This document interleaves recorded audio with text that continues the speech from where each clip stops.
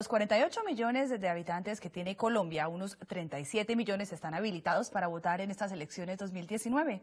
Aquí les explicamos quiénes están dentro del censo electoral.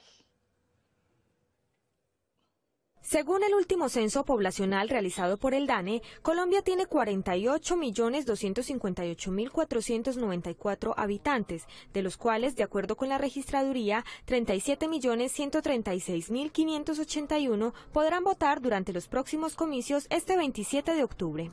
En Antioquia, un total de 4.833.840 personas están habilitadas para participar.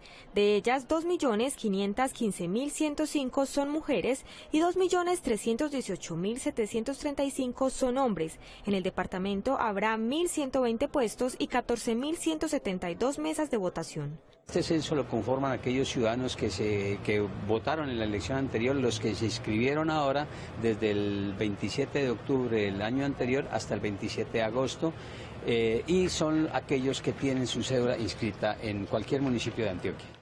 En Medellín hay un potencial electoral de 1.615.171 personas, 883.627 de ellas mujeres y 731.544 hombres.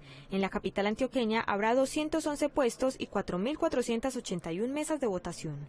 La ayuda más fácil es eh,